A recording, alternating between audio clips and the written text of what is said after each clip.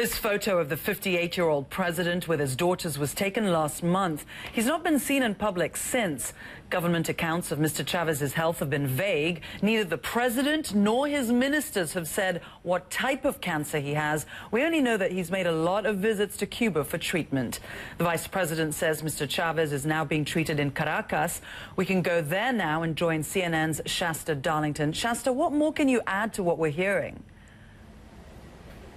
Well, you know, Zain, what was impressive about this announcement last night, which was read aloud live on national television, is just how brief and really how bleak it was. Uh, this was by far one of, of, the most bleak reports that we've had, very terse. Uh, using that same language that you mentioned, his, his situation is very delicate. This is a new and severe respiratory infection. Uh, on the other hand, for many Venezuelans, it just it doesn't come as a surprise. It's been almost three months since uh, Hugo Chavez disappeared from the public eye to undergo cancer surgery in Cuba. We've only seen those that one series of proof of life photos, and his critics especially have stepped up demands to know exactly what his situation is.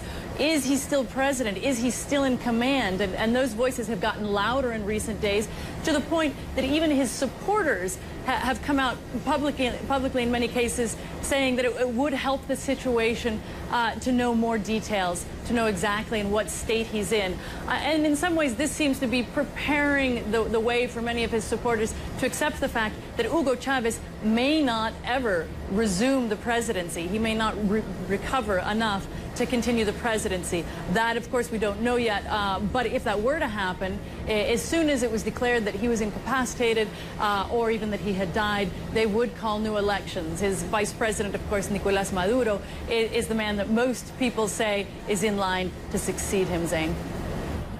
How smoothly has the country been running without him? Because Chavez equals Venezuela the way that he's been running it.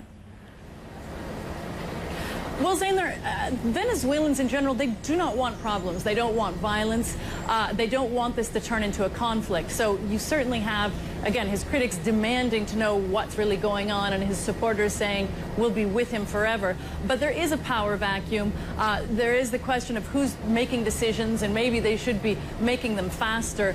Uh, as you know, the, the currency was recently devalued and there are a lot of hardcore Chavez supporters who, who are even asking, well, if the economy is doing so well, why did that happen? There's a problem with inflation. Uh, there's a problem with uh, some scarcity of goods on supermarket shelves.